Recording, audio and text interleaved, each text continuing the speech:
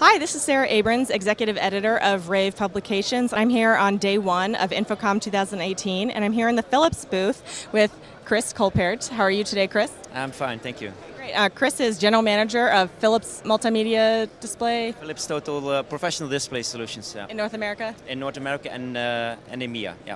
Okay. Um, so, how's the show been for you so far? The show is, uh, is fantastic. We have a, a wonderful booth. Uh, it's an open booth where we show all the products uh, together with our partners, uh, software partners, uh, where we show all total solutions. Lots of people, lots of traffic. So Yeah, lots of people on the other side of the booth. But um, can you tell me a little bit about what you're showing here?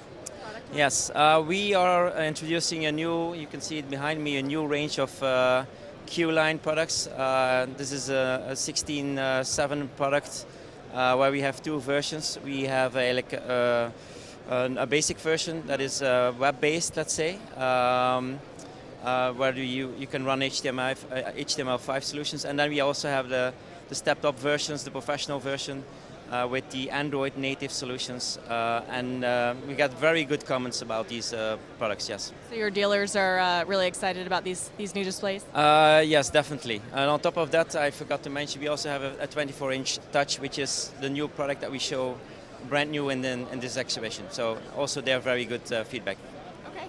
And what can we expect to see from Philips in this coming year?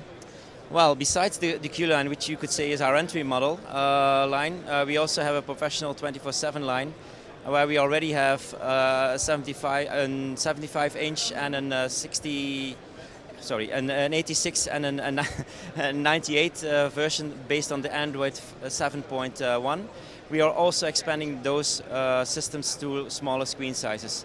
The Android native solutions are the ones that are outperforming every solution on the market right now. And so we're bringing the D line up to all the, the highest level Android solutions uh, in the next coming months. Okay. Well, thank you so much, Chris. It's Thank really great to talk to you today.